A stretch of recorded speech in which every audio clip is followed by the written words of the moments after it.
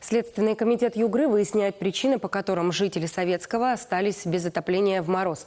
Перебои с теплом и подачей газа начались еще 1 января.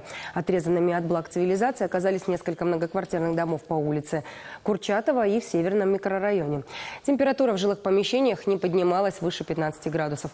В администрации отмечают, что причиной аварии стал порыв сетей теплоснабжения.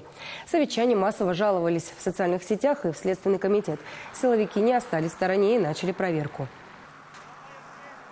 Проверки проводятся по признакам преступления, предусмотренного статьей 238 Уголовного кодекса Российской Федерации. Это выполнение работы или оказание услуг, не отвечающих требованиям безопасности, жизни или здоровья потребителей.